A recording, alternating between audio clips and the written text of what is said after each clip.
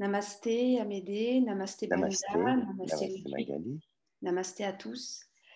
Euh, alors oui, ma première question serait comment laisser davantage mon intuition se manifester? Entre l'ego et voilà, le quotidien, c'est complexe. Alors, c'est, c'est, il y a deux niveaux de réponse. hein. Il faut vraiment le, le comprendre ainsi. Il y a un niveau de réponse que je vais donner qui est un petit peu plus général, mais qui est, qui est important. hein. Ce sont les fondements qui sont très importants. Et puis après, il y a un autre niveau de réponse où je ne pourrais pas forcément aller sur ce terrain parce que c'est quelque chose de très spécifique. Euh, te concernant, je, je- je me permets, je vais tutoyer. Hein. Elles ont un petit peu de, de facilité. Donc là, comme c'est spécifique, il y a des fois des choses, euh, je préfère pas aller sur ce terrain parce que je vais dire des choses vraiment très personnelles. Donc il faut bien comprendre que pour certaines questions, je suis obligé de, de mettre deux niveaux de réponse. Alors, on va prendre ce premier niveau de réponse. La première chose, pourquoi notre intuition ne se manifeste pas, et c'est euh, le cas aussi pour toi, c'est parce que, en fait, le mental, et c'est vraiment ton cas aussi, donc il y a des moments où je vais parler quand même de façon spécifique, hein, parce que c'est difficile quand j'ai quelqu'un qui me pose directement une photo, une photo, pardon, qui me, une question, de, de ne pas m'adresser à elle. Donc je, je réponds forcément aussi comme ça, mais j'y mets des limites. En fait, c'est le contrôle, Magali. Le contrôle, il est là. Et donc, plus on a une tendance au contrôle, plus c'est difficile à notre intuition d'émerger. C'est subtil, hein, parce que on peut désirer très fort euh, que notre conscience se manifeste, c'est-à-dire notre intuition. hein. Pour moi, l'intuition, c'est la voix de notre conscience, de notre dimension spirituelle. C'est la façon de communiquer avec euh, notre corps, avec notre ego. Et le mental a un grand besoin de contrôle. Et donc, c'est ça la difficulté.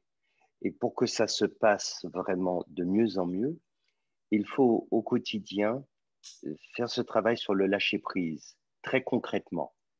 C'est-à-dire être euh, ouvert, accepter que cela puisse se faire euh, de façon très ouverte. Voilà, c'est-à-dire accepter toutes les perspectives. Travailler beaucoup sur ce, côté-là. Parce que dans les faits, on n'est pas prêt à tout entendre de notre intuition. On n'est pas prêt à accepter qu'elle nous dise euh, il faut que tu ailles vraiment à droite quand on a vraiment décidé d'aller à gauche. On n'est pas prêt à ce genre de choses. Quand on est certain de faire, de, faire quelque, euh, par exemple, sur un plan même professionnel, pour donner cet exemple, et qu'on a beaucoup travaillé pour mettre en place quelque chose, serait difficile d'écouter notre intuition qui nous dirait euh, oui, c'est bien, mais c'est pas du tout comme ça qu'il faut envisager les choses. Et donc, c'est toutes ces difficultés qui fait que notre intuition a du mal à se manifester.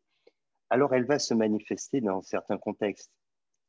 Quand c'est un contexte qui ne va pas nous déranger, quand on a euh, dans un contexte précis un choix à faire et que celui-là ne posera pas trop de problèmes, on peut ressentir plus notre intuition parce que ça ne va pas nous remettre fondamentalement en cause. Mais lorsqu'il s'agit de se dire je veux vraiment m'en remettre à cette dimension de mon être, donc écouter mon intuition, quoi qu'il en soit, aller là où, elle me dit d'aller, faire ce qu'elle me dit de faire, etc. Là, on passe sur notre cap.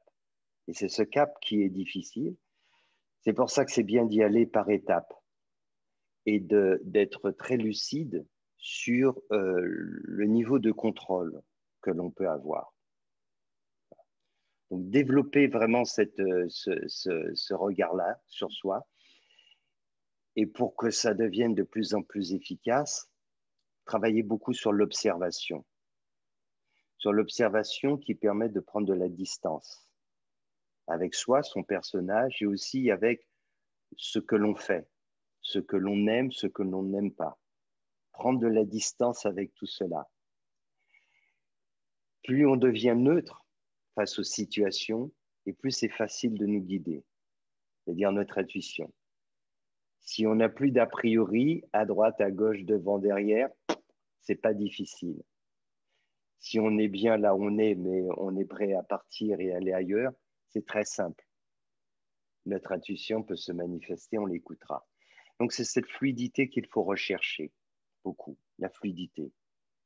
Et ça peut se faire dans plein de petites situations de la vie quotidienne, être prêt à cela. Et en même temps, ça permet de remarquer si on n'a pas cette fluidité, si on a tendance à avoir un petit peu de rigidité, si on a tendance à avoir un peu de contrôle.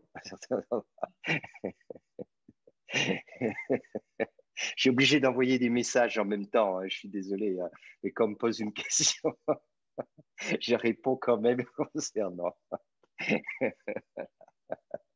Est-ce que ça, te parle, cette réponse, Magali? Merci beaucoup. Avec plaisir. vous, vous m'entendez? Bonjour. Bonjour, Namasté. je suis en région parisienne. Namasté. Euh, j'ai deux questions. Euh, une qui fait suite à ce que tu viens de dire. Donc, euh, moi, je vis une situation difficile avec mon fils de 12 ans qui part en vrille, comme on dit, euh, qui travaille plus, qui insulte les adultes, les autres enfants avec les mots les plus orduriers possibles. Et alors que c'était un très gentil enfant avant, mais il a trop souffert. Sa réaction, c'est j'ai tellement souffert que maintenant j'agresse, j'attaque, voilà. donc j'ai l'impression que j'ai réussi à prendre de la distance depuis le temps que j'écoute tes enseignements. Émotionnellement, ça va. Euh, malgré tout. Et euh, je, suis ouverte à toutes les possibilités, mais je vois, quand on ne voit pas de solution, parce que finalement, c'est sa vie déjà à 12 ans, et voilà, je me dis, je l'emmène ailleurs, je pars. Enfin, il y a des, moments dans la vie, on se dit, euh, quand on ne voit pas de solution. Voilà, c'est un peu ma première question. Oui, pour, pour, répondre à cela, il est ce que je disais tout à l'heure, quand on est vraiment dans quelque chose de très particulier, je ne veux pas rentrer dans le détail parce que ça peut m'amener dans des, choses qui, sont trop personnelles et, et ce n'est pas possible que je le dise comme ça devant tout le monde. Donc, ce, que je peux dire à ce niveau-là, c'est qu'il y a, il y a un, sens, toujours. Mm. Il y a quelque chose que la vie nous dit, et j'entrevois des choses, mais je ne peux pas en parler ainsi. La vie nous envoie un message à travers une telle situation. Ce message, il faut vraiment bien l'entendre, c'est très important. Et ensuite, évidemment, il, y a quelque chose à faire, c'est sûr. C'est très compliqué, hein, je, comprends bien quand on le vit ainsi. Euh, et c'est pour ça que quand on, a, on en a une approche euh, vraiment intuitive, on peut, on peut percevoir ce qu'il y a à faire. C'est pour ça qu'à une question comme ça, je ne peux pas répondre de façon généraliste. C'est vraiment pas possible. Parce que cette situation, c'est très spécifique. Là, j'entrevois des choses qui me concerne et je ne peux pas en parler comme ça devant tout le monde, c'est trop, trop intime. D'accord. Et euh, la deuxième question qui est beaucoup plus dans ce cas généraliste, et pour la première question, je, prendrai peut-être un autre rendez-vous avec toi. Euh, tu dis souvent dans les vidéos qu'il est important de s'éveiller, euh, de s'éveiller dans, dans, la vie humaine, notamment cette vie, que c'est une opportunité. Et tu dis que si on ne le fait pas, il faudra peut-être tout recommencer. Et en fait, j'arrive pas à.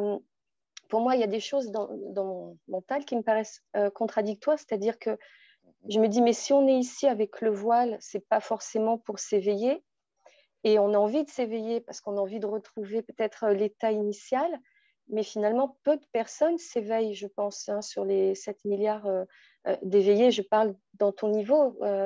donc, j'ai l'impression, ça me met comme une pression de me dire, mais si je m'éveille, je veux pas être, j'ai pas vraiment de pression, mais je me dis, ça me questionne. Mhm. Si je m'éveille pas, alors euh, c'est raté. oui, bien sûr, bien sûr, bien sûr. alors c'est très bien la question que tu poses. En, réalité, c'est une vision qu'il faut avoir plus, plus globale. Si on se regarde là présentement dans ce corps, dans cette vie, on ne peut pas comprendre grand-chose du film. C'est comme si on rentre dans un film qui dure trois heures et demie et on regarde deux minutes ou encore deux secondes. Et, là, on, se pose des tas de questions concernant le film. On ne peut rien comprendre. En réalité, on est dans un processus de spiritualisation de la matière. Ça nous ramène au point de départ. Qui es-tu? Qui suis-je? Qui sommes-nous? Sommes-nous juste des êtres physiques, mortels, qui allons disparaître Où sommes-nous cette conscience, cette dimension spirituelle? Ma perception, mon expérience, celle de beaucoup euh, de, personnes qui se sont éveillées, c'est que nous sommes des êtres spirituels. Alors quel est le sens de tout cela? Le sens, c'est la spiritualisation de la matière. Ça veut dire que nous nous incarnons et que au fil de nos incarnations, au fil des incarnations, nous acquérons une, maturité au niveau de l'âme. Cette maturité, c'est ce que j'appelle la spiritualisation, c'est-à-dire de plus en plus, on s'élève en conscience. On, sort du règne animal pour s'élever vers le niveau humain, mais le niveau humain supérieur. On voit bien le niveau humain inférieur. C'est celui qui détruit la planète. C'est celui qui fait qu'on se bat les uns contre les autres, qu'on tue par milliards des animaux, qu'on détruit notre planète et les autres êtres humains. C'est ça le niveau inférieur. Ce sont les qualités d'égoïsme, la cupidité, l'intolérance. Donc, tout cela, au fil du temps, la maturité de notre âme, alors on s'élève vers ces qualités supérieures. Comment s'élève-t-on vers ces qualités supérieures? Parce que ce sont les qualités inhérentes de notre conscience. C'est elle qui de plus en plus émerge. Et c'est ce que l'on ressent en tant que corps au niveau de l'ego, c'est ce qu'on ressent. Jusqu'à un moment, et c'est ça la spécificité euh, de, l'être humain, c'est qu'il il arrive un moment dans ce processus d'évolution, le règne minéral, végétal, animal, humain. Et à un moment donné, dans cette évolution au niveau de l'humain, on peut prendre conscience de cette double nature. Ce corps, cet ego, ce corps qui est le véhicule donc de, cet ego, et l'âme qui est le véhicule de ma conscience. Et là, on prend conscience que je suis un être spirituel. Je ne suis pas ce personnage, ma réalité est tout autre. Et à ce moment-là, on peut vivre vraiment. On passe d'une intuition à une conviction à une expérience. Et quand on sort du rêve, c'est-à-dire qu'on s'éveille, alors on peut ensuite poursuivre notre voyage sans nécessité de se réincarner encore. Et c'est comme ça qu'au fur et à mesure, il y a ce phénomène de spiritualisation qui se produit. Et quand on regarde le monde, on voit bien qu'il est très dense dans le monde minéral, végétal, animal, humain. Progressivement, ça se fluidifie, mais au niveau du règne humain, c'est très contrasté, parce que pour être capable du meilleur, il faut être capable du pire aussi. Et, et on exerce le pire avant d'exercer le meilleur. C'est pour ça qu'il faut y aller et que ce phénomène est pyramidal. C'est pour ça qu'effectivement, on s'éveille progressivement. Ce n'est pas la majorité, c'est une minorité, mais on est mm. tous destinés à cela. Simplement, on doit revenir. On revient avec une mémoire. C'est la mémoire de l'âme. Voilà. C'est-à-dire, c'est ça, en fait. Et cette maturité que l'on peut comprendre dans le monde, hein, dans notre vie incarnée, on voit bien qu'à 20 ans, 30 ans, 40, 50 ans, on a notre maturité, hein, à 50 que quand on a 20 ans. Eh bien, au fil de nos incarnations, c'est la même chose. Cette maturité au niveau de l'âme fait que on a des, dispositions qui deviennent évidentes pour parvenir à autre chose, c'est-à-dire être prêt à s'éveiller et ensuite euh, poursuivre notre parcours euh, au-delà du règne humain. D'accord, merci. Ça peut être très très long donc encore pour nous. C'est un temps qui est, qui est infini, mais en même temps qui peut être très court. La, notion de temps ne veut pas dire grand-chose sur le plan de l'âme. Cette vie, elle nous paraît longue. Sur le plan de l'âme, c'est pour avoir une idée de cela, c'est comme nos rêves. Combien imagines-tu avoir fait de rêves dans ta vie? Après toi, des milliers, des milliers, des milliers. Eh bien, sur le plan de, ton âme, les incarnations, ça, dure le temps de rêve. Cette vie-là, c'est un rêve sur le plan de l'âme. Ça dure quelques instants. Ceci étant, il ne faut pas se dire qu'on est condamné à, ce que ça dure longtemps. C'est pas vrai. On peut à tout moment décider, ça suffit. Mais pour ça, ça rejoint ce que posait la question de Magali. Ça veut dire, est-ce qu'on est prêt maintenant à tout lâcher pour que cela se manifeste? Et ça suffit, ça veut dire, ben maintenant, je suis prêt à tout lâcher. Mais qu'on dise ça à la vie, elle nous répond tout de suite. Hein. elle lui dit go. Et là, crispation. bon, dit non, non, tout lâcher, mais quand même, faut pas, faut pas exagérer non plus. c'est ça, c'est ça. Lâcher ses responsabilités et tout, très bien. on ne sait pas, ce mm. sont des trucs qu'on se met dans la tête. Mm. La vie fait pas n'importe quoi. Nous, on passe nos vies, pas seulement notre vie, on passe nos vies à faire n'importe quoi. Mm.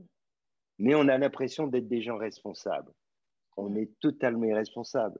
On ne sait même pas qui on est, on ne sait rien de nous-mêmes et on pense être responsable. Ce que je dis est très simple à vérifier. On n'a qu'à regarder l'état de la planète. Sommes-nous des êtres responsables? Quand on voit ce qui se produit, les guerres, le terrorisme, les, milliards d'animaux qui sont abattus, des femmes violées, euh, ça n'arrête pas de partout. Sommes-nous des êtres vraiment responsables? Voilà. Donc je crois que quand on ouvre un tant soit peu les yeux, on peut se dire à un moment donné, ben stop. Voilà. On se dit, s'il y a une dimension intelligente qui existe en moi, il est temps que je la laisse gérer et que moi, je, reste tranquille dans mon coin. voilà, c'est ce que nous demande notre conscience. Voilà, Béatrice. Avec plaisir. Bonjour. Bonjour, namasté. Bonjour, namasté. Je ne suis pas toute seule, je suis avec mon mari Amidou. J'ai vu. Bonjour Amidou. en fait, ma question, mais bonjour à, toutes et tous déjà. Et merci pour, euh, pour cet échange. Euh, la question que j'avais, en fait, j'ai écouté une vidéo hier euh, quand vous étiez avec, avec Didier sur des studios. Et en fait, ma question, c'était quand on s'éveille, quand on quand on arrive à, s'éveiller. Est-ce que la douleur physique, euh, enfin les douleurs physiques qu'on éprouve dans notre corps, est-ce qu'elles peuvent disparaître aussi euh, comme les douleurs émotionnelles en fait? Alors, c'est deux choses vraiment différentes. On, peut, euh, peut ressentir de, la douleur physique et pour autant s'éveiller. Le, vraiment, le, ce qu'il faut comprendre sur l'éveil, de quoi s'agit-il au juste? En fait, c'est l'identification que l'on a avec ce corps et le personnage. On peut intellectuellement un jour se, voilà, se, dire et, croire à un moment donné que finalement il existe une dimension spirituelle en nous et qu'on n'est pas ce corps, ce personnage. Ça peut être une, croyance religieuse, ça peut être aussi euh, quelque chose d'intellectuel, on peut adhérer, mais d'un point de vue spirituel, c'est une expérience. L'éveil de la conscience, c'est vraiment faire l'expérience de qui nous sommes au-delà du corps et, de l'ego. Toujours est-il qu'on est quand même incarné dans un corps et qu'on peut prendre plus ou moins de distance. Quand on est dans un état vraiment de, de samadhi, il peut se produire des tas de choses qu'on ne va rien sentir. Mais on n'est pas forcément dans cet état au quotidien. Et donc, on peut ressentir des douleurs au niveau du corps. C'est comme le phénomène des émotions. Les émotions, elles se déroulent à la périphérie. La périphérie, c'est notre personnage, le corps, le personnage social. Et tant qu'on est identifié à ce personnage, eh bien, on ressent tout cela. Si on se situe au centre de l'être, ça ne veut pas dire qu'on ne va pas ressentir à des moments des choses au niveau périphérique mais ça sera à distance. On peut exprimer aussi des, émotions, mais c'est différent. On peut aussi, dans un contexte de communication, exprimer à des moments des, des attitudes de joie, de colère, mais il y a une distance toujours. Il y a quelque chose en nous qui reste toujours stable. C'est ça, en fait. Donc, c'est ça qu'il faut bien comprendre. On peut ressentir des choses sur le plan émotionnel, mais c'est plus du tout la même chose. C'est plus en périphérie et, au fond, à l'intérieur, il ne se passe rien. Alors, c'est pas toujours euh, aussi, c'est pas aussi évident. Et puis, vu de l'extérieur, ce n'est pas toujours aussi visible, mais on peut le remarquer dans une stabilité, en fait, qui se produit en général. Voilà. Mais pour répondre précisément à la question, bien sûr, on peut ressentir quand même des douleurs euh, physiques. Oui, ça peut euh, évidemment se faire. On est dans ce véhicule. Alors, il y en a qui sont dans un tel état, on peut se faire, hein, des fois quand on est dans un tel état, ça m'a dit, on peut ne plus rien, rien ressentir à un moment donné. Mais bon, si on vient faire quelques actions dans ce monde et puis communiquer avec les autres, alors il faut quand même être un peu plus euh, incarné et, et, et, là, auquel cas, on ressent quand même des choses. Voilà. Avec plaisir. Namasté. Eh ben, oui. Bonjour. Bonjour. Est-ce que tu m'entends? J'entends très bien. Tu t'entends très bien. Je me permets de te tutoyer par euh, respect et grande sympathie. Bien sûr, bien sûr, bien sûr, Je ne voudrais, pas, je voudrais pas parler de moi, mais je voudrais parler de mon expérience qui peut servir à, tous les autres, j'espère. Euh, ça fait plus de 50 ans qu'il y a une présence, une énergie lumineuse que j'imagine comme un océan dont les vaguelettes caressent les rives de ma réalité et pendant ces 50 années, parce que je suis plus très jeune, j'ai beaucoup travaillé, beaucoup voyagé, beaucoup utilisé mon mental. Business, pilote, bref, je me suis beaucoup dispersé dans la matière, dans l'efficacité. et ma question, et, ce que je veux dire tout de suite, c'est c'est une recherche personnelle qui est très longue. Je suis en même temps très fatigué de cette recherche et très curieux et très poussé en avant. Et aujourd'hui, j'arrive à la conclusion qu'il faut que je jette toutes mes armes à mes pieds, que je jette mon intellect, que je jette mes connaissances, que tout ça ne sert strictement à rien, que j'arrête de lire et que je m'ouvre, que je m'ouvre à cette présence, que j'ouvre tout. Sans, sans utiliser l'intellect, sans utiliser l'ego, je, je disparais presque. Et je me dis, c'est la seule solution que j'ai. J'ai 68 ans, donc je suis pas un gamin enfin dans cette vie terrestre en tout cas. Et, je me dis que la seule solution qui me reste, c'est d'ouvrir, c'est d'ouvrir, même pratiquement de plus réfléchir, de dire viens, fais ce que tu veux. Moi, je ne sais plus rien. Je ne sais plus rien. Voilà, c'est ça, c'est ça mon témoignage. Euh, ne plus avouer, ne plus rien savoir et ouvrir. Voilà, m'aider. Très bien. C'est exactement à là qu'il faut en venir. Euh, il y a juste une, petite chose qui, qui manque peut-être dans ton propos, c'est quand tu as dit je disparais presque. Il faut enlever le presque. voilà. Oui, tu as raison. Oui, bien sûr. C'est juste cela qu'il faut. Il faut enlever le presque. Ouais. D'accord. Et c'est en, en, réalité, c'est cela qui fait obstacle. Et ça soulève quelque chose qui est très intéressant, c'est-à-dire il faut se mettre en quête, il faut faire cette démarche, car sinon ça ne se produit pas. Et à un moment donné, on doit bien comprendre que pour que ça se produise, il faut tout arrêter. Alors c'est là qu'il faut vraiment arriver à comprendre comment ça se produit.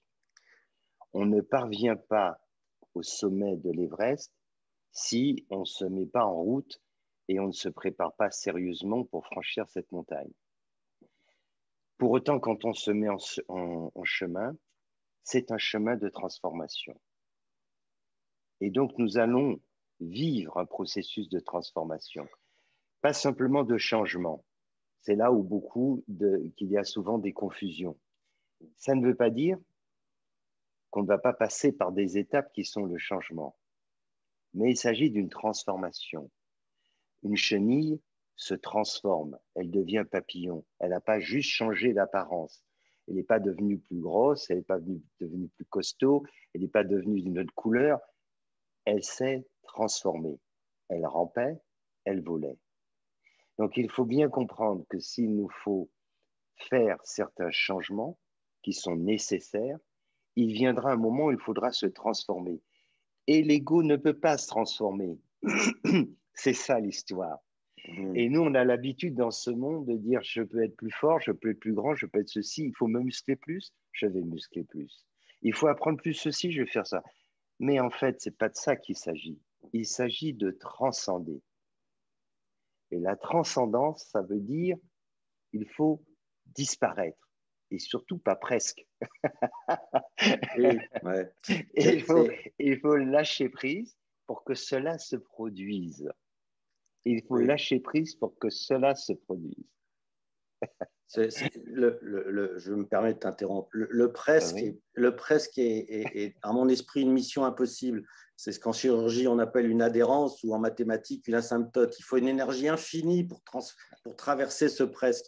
Et, et ça fait tellement d'années que je mets cette énergie, cette direction, qu'il y a une fatigue. Et comme il y a une fatigue, je décide de tout abandonner. Presque tout, presque tout. c'est ça. C'est le presque. C'est le presque. Hein. C'est celui-là qui pose problème. ah oui, terrible. Lâcher.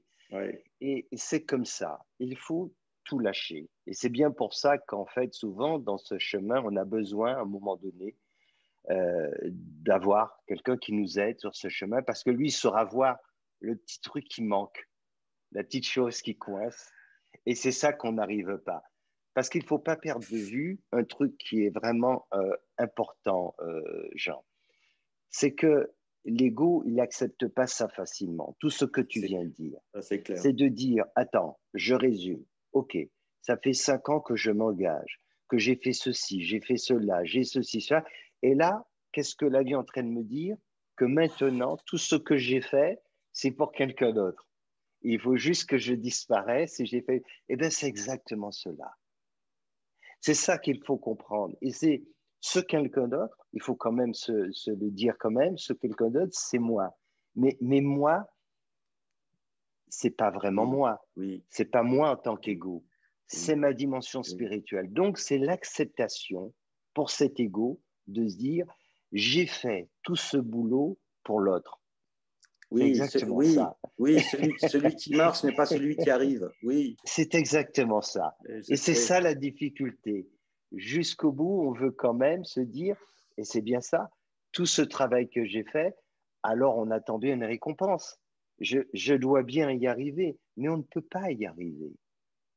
L'ego ne peut pas, l'ego ne peut pas se transformer. Il doit se dissoudre.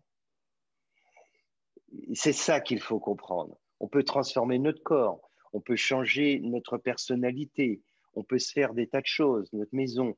Mais ce dont on parle, c'est autre chose. une chenille, quand elle vit pour devenir un papillon, elle doit se transformer, c'est quelqu'un d'autre en réalité. Donc c'est ça qu'il faut comprendre. Donc il faut laisser ce quelqu'un d'autre se manifester, accepter effectivement de tout lâcher, de tout laisser tomber, parce que ces livres ne servent à rien. Tout ce savoir, tout ça ne sert à rien. Notre conscience, elle sait tout cela. C'était juste pour nous mettre sur la piste, pour comprendre qu'il y a autre chose, qu'aussi loin qu'on puisse aller, on n'a même pas commencé. du point de vue de la conscience. Aussi loin qu'une chenille peut aller, peut parcourir, qu'est-ce que c'est par rapport au papillon? Elle n'a pas commencé. Elle ne sait pas faire un battement d'aile. Alors comment va-t-elle se faire? En acceptant sa mort, tout simplement la mort de l'ego. Perspective qui te réjouit. Mais si tu, si, suis mes enseignements, c'est là où je t'amène. Hein. Euh, je, suis prêt, je suis prêt à y aller. Je crois être prêt. Mon ego est pas prêt, mais moi oui. Alors, le presque et le croire, ça c'est pas bon. Mais je Il faut le laisser à la porte. Hein bien sûr. Bon, je vais plonger alors, je vais plonger du plongeoir alors. c'est exactement ça. Merci Amédée.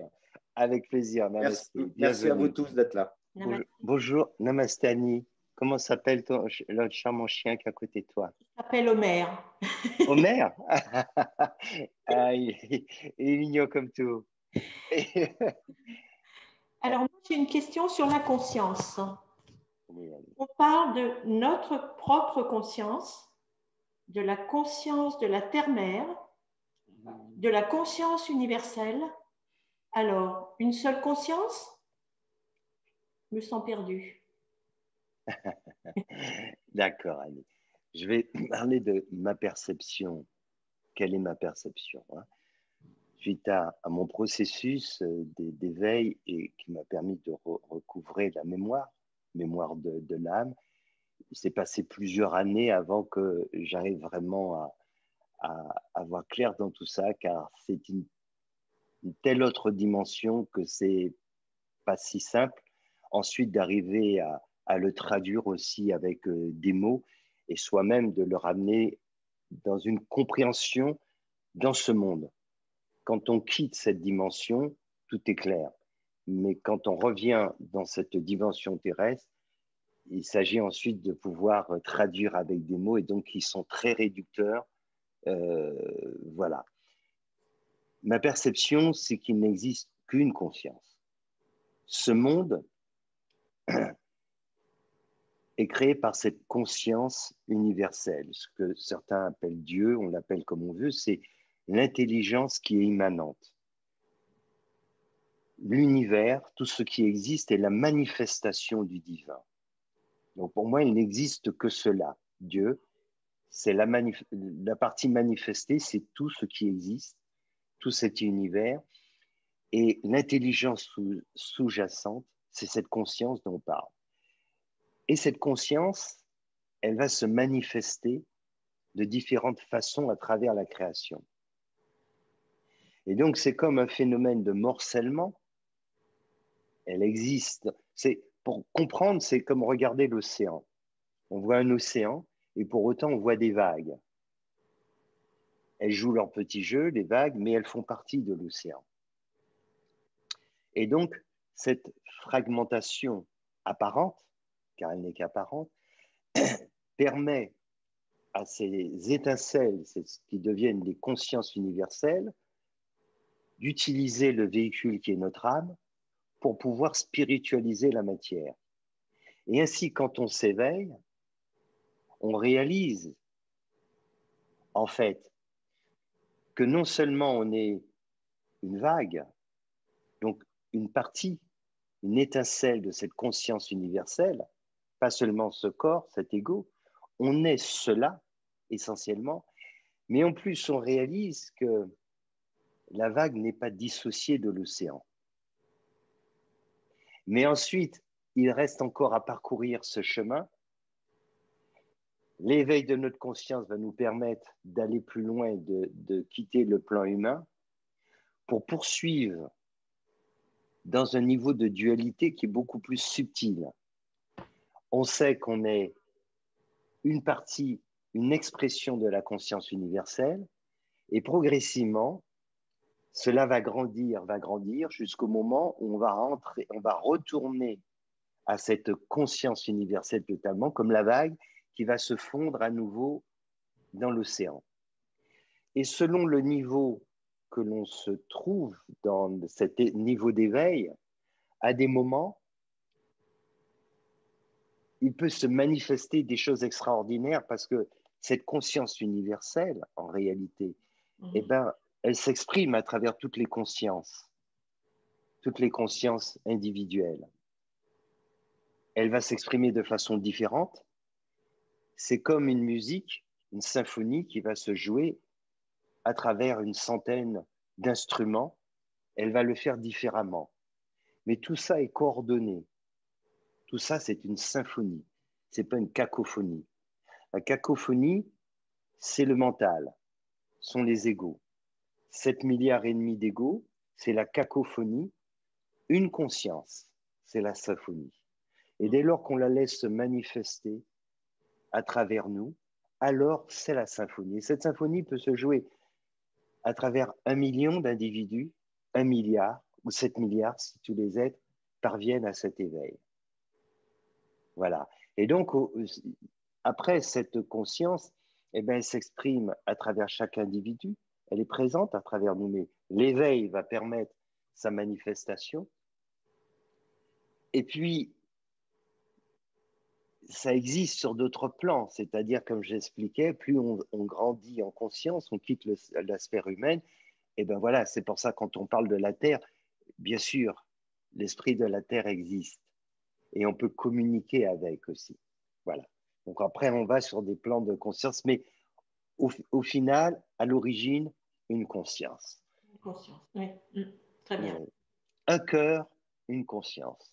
Mm. Merci. beaucoup. Avec plaisir, Annie. Namasté. et un petit câlin de, de, de la part à Omer. Hein voilà. Merci. Alors, j'aimerais qu'on fasse quelque chose. Elle n'est pas au courant. C'est en direct. Namasté, Sylvie. Euh, J'écris depuis des, années, euh, mais je n'ai pas encore publié, ça va pas tarder, des euh, recueils. Il y a plein de choses. Alors, euh, j'ai des textes que je vais prochainement publier. Il y a aussi Annick, qui on, doit envoyer un de recueils parce que pour qu'elle puisse faire un des dessins en fait. Euh, qui, vont, euh, qui vont coller avec ces, recueils. Et là, il y a des choses. Alors, ça va être écrit, mais il y aura aussi de l'audio. Et donc, ce que j'aimerais bien, c'est que Brenda peut t'envoyer une question. Je t'explique comment que ça se passe. En fait, euh, c'est dans mes méditations. Des fois, ce sont des personnes que je rencontre qui, qui, qui me posent des questions où ils ne sont pas forcément incarnés. Et j'ai ces questions et ensuite je réponds. C'est des textes profondément spirituels et je vais en faire un recueil que je voudrais faire en audio, parce qu'en audio c'est important, et aussi à l'écrit. Donc un petit recueil et chaque euh, texte, il y aura une illustration. Donc je vais envoyer, on va en envoyer quelques-uns à Annie qui a proposé, qui, qui dessine très bien d'illustrer. et là, ce que je te propose, c'est que Brenda peut t'envoyer par euh, chat euh, la question et moi je vais y répondre directement de façon très profonde à cette question que tu, si tu veux bien me poser. Et comme ça, on va faire quelque chose que je souhaite faire après en enregistrement audio. Et d'ailleurs, si tu veux bien, tu pourras mettre ta voix pour la question. Et moi, je vais y répondre. Voilà. Et c'est une série comme ça et on, va le faire prochainement pour l'éditer en, livre avec euh, le dessin, mais aussi en version audio. Ça te va? Euh, Tout me va à m'aider, mais en fait, je ne sais pas si j'ai bien saisi dans l'instant ton souhait. Là, tu veux que je pose une question? Alors, c'est Brenda qui va t'envoyer normalement la question que tu vas poser, parce ah. que c'est un texte. C'est un texte qui est écrit, qui est déjà fait. J'en ai plusieurs comme ça que des, gens m'ont posé des questions et là, j'ai développé une réponse et je vais l'éditer prochainement livre et on pourra le faire aussi en version audio. Donc, je te propose, de, de si Brenda va t'envoyer la question, que tu la poses voilà, de façon très inspirée et moi, je vais te répondre de la même façon. Quand je suis près de toi, je sens que le royaume dont tu parles est à portée de main. Pourtant, dès que tu t'éloignes, il semble disparaître à nouveau, comme si tout cela n'était qu'un rêve. Comment garder cette vision en moi tout le temps? Ma chère, tu dis que tu sens le royaume dont je te parle à portée de main. En vérité, il est même plus proche que cela car si tu tends la main, tu t'en éloignes déjà. Le royaume dont je te parle est en toi. Nul besoin de te déplacer, ni de tendre la main pour l'atteindre. Il n'est pas nécessaire non plus d'attendre un moment opportun pour y pénétrer. Pour toi, il est accessible à tout instant tu assis sur un simple strapontin, alors qu'un trône t'est destiné. Sache cependant que la seule personne qui t'empêche de t'y installer, c'est toi-même, c'est ton ego. Celui-ci sait bien que si tu entres dans ton royaume, le maître en toi se révélera.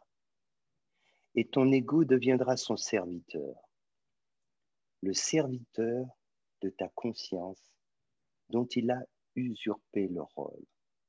Il sait qu'il deviendra un roi déchu. Et il n'y a pas d'épreuve plus terrifiante pour l'ego que de perdre son pouvoir. Devenir un simple serviteur pour un roi est pire que la mort.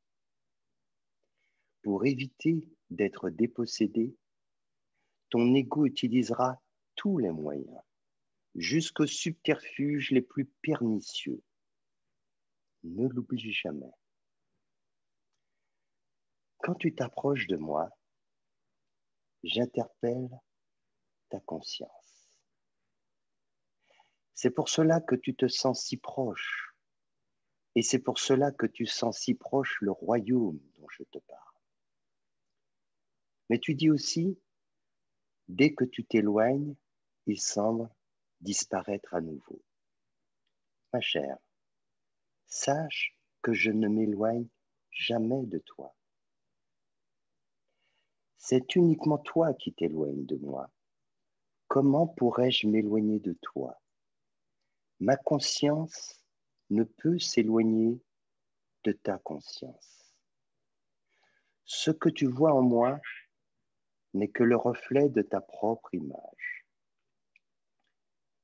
Quand tu t'éloignes, il te semble avoir rêvé. Mais si tu me gardes dans ton cœur et dans ton esprit, alors ce rêve se transformera en réalité. Si tu veux me garder auprès de toi, alors rapproche-toi encore plus près de moi. En vérité, tu dois te fondre en moi sentir ma présence en toi. Tu dois me conserver en toi où que tu ailles et quoi que tu fasses. Il faut juste que tu oses le faire. Un maître est une simple porte, celle qui mène à ta propre conscience. Mais pour y parvenir, il ne faut pas se contenter de s'approcher de la porte, il faut la franchir. Tant que tu seras éloigné de moi, le royaume dont je te parle ne sera qu'une chimère. Mais il ne tient qu'à toi de transformer ce rêve en réalité. Alors viens, franchis cette porte et passe à travers moi pour atteindre le royaume qui est le tien.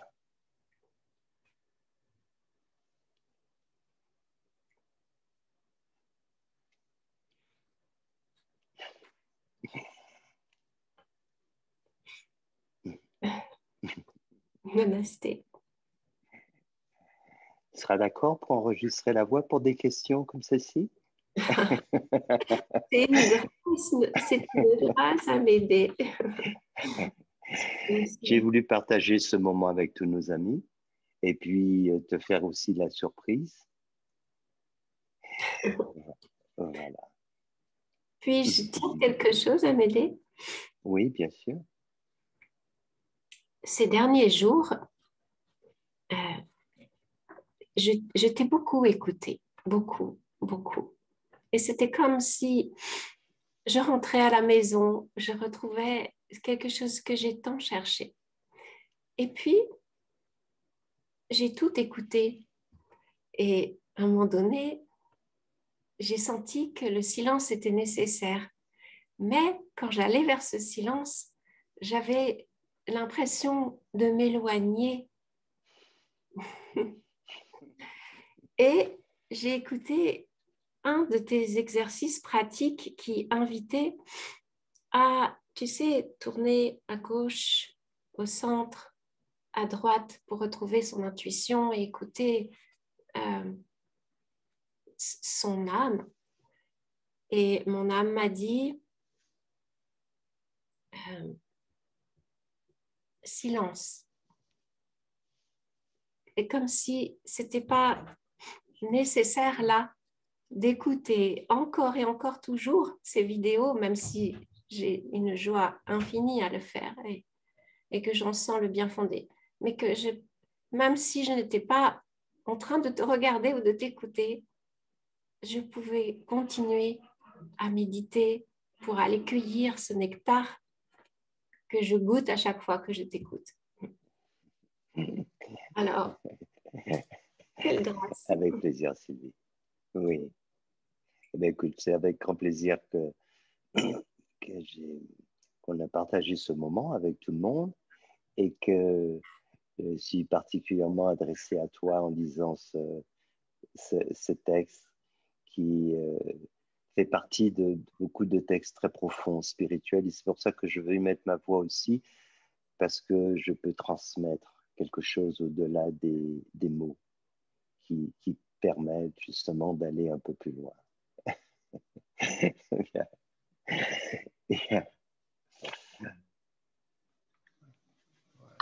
Bonjour. Bonjour Agnès. Bonjour. Alors, je vais poser ma question. Euh, depuis euh, plus de deux ans, j'ai le numéro 17 qui me poursuit. Je suis née le 17. Je viens depuis trois ans, j'habite au numéro 17. Et euh, tous les jours, au moins 20 à 30 17 m'apparaissent, soit par l'heure, soit par un livre, soit par une plaque d'immatriculation, soit par euh, une, boîte de conserve qui marquée le 17, enfin, c'est partout. voilà. Ça, euh, ça, ça, s'appelle du harcèlement. Hein oui, c'est ça. et, hier, euh, j'étais dans la voiture. alors, ça s'est fait en, trois minutes. Il y en a eu 5, 17. Il y a eu une, une voiture qui était matriculée 17. Et je ne suis pas du tout dans le département 17. Il y avait 17 km pour arriver à mon but. Il y avait 17 et j'ai explosé de rire. Je me suis dit, bon, demain, euh, il y a Amédée qui parle, il faut vraiment qu'il me dirige. C'est quoi le 17 Qu'est-ce que ça veut dire? J'ai eu l'occasion d'évoquer de, euh, cela. Je ne sais pas si tu as vu. Oui, j'ai vu. Oui, certaines vidéos. Oui. Alors, les, les, les nombres, euh, évidemment, nous parlent. Euh, tous les nombres, nous, alors faut bien comprendre qu'ils nous disent des choses différentes en fonction de qui nous sommes, en fonction des circonstances. C'est pour ça qu'il faut être aussi euh, prudent dans la façon dont on va traduire les choses, euh, parce que ça, ça, dépend effectivement des, personnes et du moment où, bon, mais en ce qui le concerne, c'est vrai qu'il y a une, particularité quand le 17 a tendance à se manifester de mmh. façon comme mmh. ça mmh. aussi euh, conséquente. Il y a un symbole derrière. Le 17, c'est l'éveil de la conscience. Et donc, souvent, ce qui se passe euh, quand on est, euh, même quand on ne le sait pas d'ailleurs, mais, mais, qui plus est, si on est dans une démarche spirituelle, ou en tout cas existentiel de questionnement, quand ce nombre se, se, manifeste, c'est une façon de nous alerter, de nous parler, de nous dire que le moment est venu de, de passer à autre chose, de grandir en conscience. Et donc, c'est un appel. C'est vraiment un appel, c'est un appel à l'éveil, en fait, à se mettre en chemin. C'est vraiment un appel. Alors, cet appel, je dirais globalement, on, l'a eu tous au niveau planétaire depuis. Euh, mm. L'année 2017, j'ai passé tout mon temps à le dire, euh, que c'était un moment très particulier, qui avait un retentissement, une énergie particulière, et qu'il allait se produire, notamment un phénomène qui s'est produit, notamment concernant les, femmes, avec le mouvement MeToo, euh, c'est-à-dire cette prise de conscience mondiale euh, qu'il, je dirais tout n'est pas réglé loin de là, mais un, vrai mouvement plus que d'exaspération, des femmes qui disent maintenant ça suffit. Et c'est très important parce que ce sont les qualités féminines qui nous manquent dans ce monde et qui fait que on vit cet effondrement. C'est à cause de cela. La cause de l'effondrement de notre monde, c'est parce qu'il manque de ces qualités féminines. C'est ça, en fait. Et donc, ces prises de conscience, elles sont essentielles au niveau des femmes, des hommes, pour que les qualités féminines soient beaucoup plus présentes dans ce monde. Et donc, cette année 2017, c'est Brenda d'ailleurs, on a beaucoup travaillé là-dessus, parce que c'était une année très forte aussi euh, pour envoyer ce message, ce message aux êtres humains pour leur dire ça suffit. Il faut passer autre chose, sinon ça ira de plus en plus mal. Et quand la vie nous appelle à nous éveiller, si on n'écoute pas, alors vraiment les choses peuvent s'effondrer. Et, c'est un peu ce que l'on est en train de vivre. Alors des gens, eux, on, prennent conscience, et si on prend conscience, alors évidemment les choses seront différentes pour nous. Mais il y a un enjeu planétaire. Donc, ce qui se produit, c'est qu'il y a un vrai appel, ce que je perçois, à cet éveil, et c'est important de l'entendre euh, pour savoir ensuite qu'est-ce que la vie veut nous dire de façon concrète. Qu'est-ce que l'on doit vivre, on doit aller, etc. Voilà. Mais c'est un, c'est au contraire quelque chose de formidable quand ça, ça se produit. Ceci étant, ça peut se produire de façon différente pour d'autres personnes. Hein. Les gens ne sont pas toujours. Parce que le 17, c'est un nombre, mais c'est aussi des, des, couleurs. Ça peut se manifester autrement. Un top de 17, moi, c'est voilà, c'est la nature qui, qui s'éveille. C'est le vert, qui n'est pas le vert dense, qui, qui, est le 7. Mais le 17, c'est un vert qui est relativement clair. Et c'est la nature quand elle s'éveille. Le printemps qui arrive, etc. Et c'est pour ça que ce nombre peut se révéler à travers des couleurs, à travers des sons, à travers des images, etc. Mais quoi qu'il en soit, euh, on est interpellé. Et parfois, ça peut être directement par ce nombre. Donc, il faut se mettre en chemin. Euh, c'est très bien quand ça se produit ainsi et en demander plus pour se dire, OK, maintenant, qu'est-ce qu'on fait? Mais bon, a priori, ça, ça commence à ah sur le beau chemin. Merci. Merci, Avec plaisir. Est-ce que vous oui. m'entendez? Oui, ça y est. Oui. Une voix un peu lointaine, là. Paris. Très lointaine. Alors, non, c'est que j'ai dû pas mettre les bons paramètres. Oui. Euh, je peux poser la question par écrit? Ça, ça va mieux. Ça va mieux le son, oui, ça va mieux. Alors, c'est très court. Euh, parmi tous les subterfuges que l'ego utilise euh, pour se manifester, est-ce que l'interruption brutale de la vie, c'est-à-dire le suicide, peut être une manifestation de l'ego? Oui, d'accord. L'ego peut couper le son aussi. Hein. il peut nous empêcher de poser notre question. Il est tellement malin qu'il peut, si c'est une question qui est dérangeante, il est capable de faire ça. Hein. Mais bon, oui, bien sûr. Oui, oui, oui. C'est-à-dire qu'on peut euh, vivre des, épreuves qui, pour différentes raisons, nous paraissent insupportables. Et euh, on n'est pas prêt à aller au bout. Alors, c'est assez, en même temps, ça ne veut pas dire que si on les vit, on va résoudre le problème de l'ego, mais on va avancer sur notre chemin. Mais parfois, il y a des épreuves qui sont trop insupportables et on n'arrive pas. Et, auquel cas, à ce moment-là, on, peut mettre fin à nos jours. Ce qui, euh, fondamentalement, ne va rien changer, puisqu'il nous faudra poursuivre mais ceci étant, ça peut être aussi un subterfuge. À un moment donné, ça peut se faire.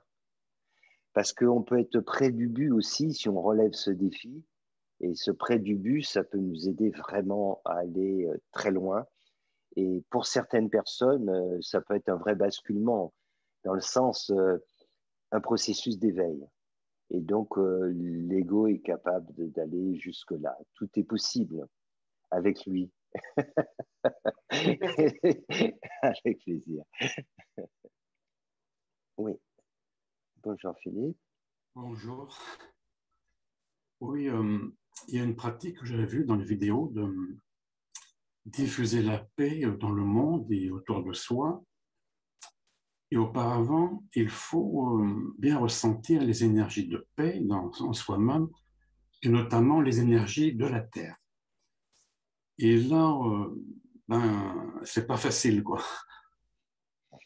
Oui, bien sûr. J'ai un peu du mal, mais je crois que c'est plutôt une attitude peut-être de, de, profondément aimer la terre, peut-être qui est un peu le, la façon d'amorcer cette énergie. Quoi.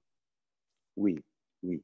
D'abord, c'est vrai que sur la, méditation, maintenant j'ai proposé la méditation pour la paix, il faut y aller par étapes. L'ai montré globalement avec euh, la paix en soi, la paix autour de soi, la paix dans le monde. Il faut tâcher de cultiver beaucoup la paix en soi. Ça, c'est vraiment important parce que plus on la cultive en soi et plus elle va pouvoir se répandre autour de soi et finalement se répandre dans le monde. La relation avec la Terre est essentielle, il faut la retrouver, cette relation avec la Terre. Et ça, c'est vraiment, et elle, permet aussi de retrouver la paix en nous. Car on voit bien qu'on n'est pas en paix avec la Terre, la façon dont on la maltraite, la façon dont justement on, ne la respecte pas. Et, ce n'est pas simplement les, les autres, c'est nous-mêmes, notre relation au quotidien. Donc c'est très important de retrouver cette relation apaisée avec la Terre. Et donc ça peut se faire en toutes circonstances, en se promenant, en étant en contact avec la végétation, avec la nature, etc. Et ça nous aide à retrouver cette paix intérieure. C'est vraiment important. Et plus on trouve, on, on ressent cette paix intérieure, et plus elle va pouvoir se manifester tout simplement après autour de soi. Merci. Avec plaisir. Oui, alors il y avait une question, Swami, euh, de Charlotte sur YouTube. Oui. Mhm. Euh, pardon, par mail, qui dit mhm. On dit qu'il faut avoir du discernement pour reconnaître les situations qu'il convient d'accepter et celles qu'il convient de changer. Selon vous, existe-t-il des signes pour savoir distinguer les deux? Oui, des, signes pour distinguer les deux, les choses qu'il faut changer. Reconnaître les situations, s'il y a des situations, on dit qu'il faut avoir du discernement pour reconnaître les situations qu'il convient d'accepter, celles qu'il convient de changer. Oui, bien sûr. Existe-t-il des signes pour savoir distinguer les deux?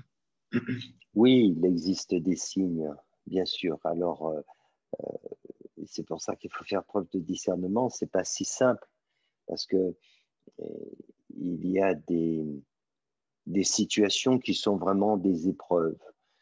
Alors, c'est pas simple à, dire comme ça parce qu'il faut les mettre dans un contexte, mais on, peut effectivement euh, percevoir que sur notre chemin de vie, euh, parce qu'on a été guidé de façon très claire à vivre un certain nombre d'événements, de, situations, et qui, nous, qui se sont révélés justes qui nous ont apporté un vrai enseignement, on peut se rendre compte que euh, tout cela n'est pas fini et qu'on doit poursuivre dans cette direction, même si cette direction elle est pénible par ailleurs. Mais on peut réaliser aussi que la pénibilité de la situation, c'est ce qui nous permet d'être enseignés. Donc, avec un peu de, de, recul, de discernement, on peut sentir effectivement à travers des signes, à travers notre intuition, qu'il est juste de vivre un certain nombre de situations. Voilà. Et il y a aussi parfois des, situations qu'on voudrait ne plus vivre, on voudrait s'en extraire, et on n'y arrive pas parce qu'on n'en a pas tiré les enseignements. Et la vie, elle est plus têtue que nous. Quand elle a décidé de nous enseigner d'une certaine façon, euh, c'est très important d'être à son écoute. Et parfois, euh, c'est même souvent, les personnes se disent, mais pourquoi ces situations se reproduisent sans cesse ou pourquoi j'arrive pas à m'en extraire? Euh, C'est parce que lorsqu'on se voit que sur le côté de la victime, mais qu'on ne tire pas les enseignements de la situation que l'on vit, alors on peut s'embourber vraiment longtemps. Si on lâche prise, on est dans l'acceptation, pas dans une, le fait de, se dire je me soumets, je subis, mais l'acceptation pour tâcher de comprendre qu'est-ce que cela veut me dire. À ce moment-là, on peut vraiment euh, comprendre cet enseignement. Et, il y a un signe qui est très fort souvent quand ça se produit, c'est que dès lors qu'on a vraiment capté, alors on s'aperçoit que tout change très vite. Et qu'une situation qui aura pu durer très longtemps, au moment on a vraiment compris ce qu'elle voulait nous enseigner, nous transmettre et qu'on l'acceptait et qu'on mettait en pratique, ça peut changer très vite, très vite. Vu des, situations qui duraient des années et qui en 24 heures pouvait euh, basculer, changer totalement. Voilà. Donc c'est vraiment important de d'aborder les choses de cette façon et en comprenant qu'effectivement, on a à la fois des intuitions et des signes qui peuvent euh, nous vraiment nous indiquer que on a des épreuves à vivre et des situations qui peuvent durer un certain temps et tâcher de comprendre qu'est-ce qu'il y a derrière. Et qu'en même temps, il y a aussi, parfois, quand on a des, messages, euh, des messages qui sont là pour nous indiquer euh, que telle, telle direction n'est pas la bonne. Voilà. Alors tout ça, c'est vraiment un travail de discernement. Ce discernement, il faut bien comprendre ce que, ce que ça veut dire. La vie adopte un message qui est unique à chacun d'entre nous. C'est ça aussi qui est important de comprendre. C'est comme les nombres, les couleurs, etc. Nous, on parle une langue. Voilà, on en parle plusieurs. Et en fait, on utilise la même langue, etc. Pour autant, on sait tous qu'on ne donne pas le même sens aux mots. Eh bien, la vie, elle nous parle d'une façon unique à chacun d'entre nous. Et donc, il faut arriver à comprendre ce message c'est un code, hein, une communication. Une fois qu'on l'a compris, alors on peut comprendre beaucoup plus facilement ce qui est une épreuve que l'on doit continuer à vivre et là où c'est un avertissement en disant il ne faut pas aller dans cette direction. Voilà. Donc c'est très important de comprendre ce langage qui est qui se met en place si on est attentif aux signes, à la vie. C'est un vrai langage, un vrai code de communication qui est unique à chacun d'entre nous chacun d'entre nous. Voilà.